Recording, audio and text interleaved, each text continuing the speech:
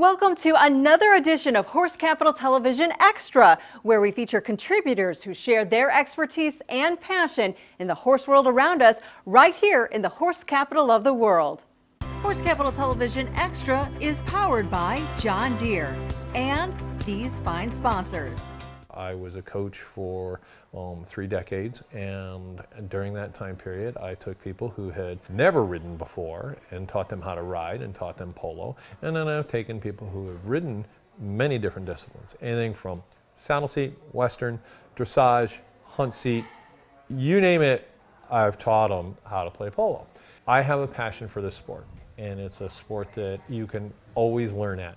Uh, I've been at this for five decades and I have, I'm still learning.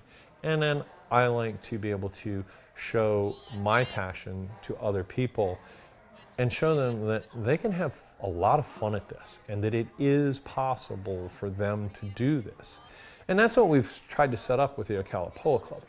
It's not, not just for the high goal players or the players who are, who are endeavoring to be professionals. This is for the everyday community horse person who I can do this? And yes, you can. If somebody would like to reach out and to figure out how to contact us, um, go to teamresolutepolo.com.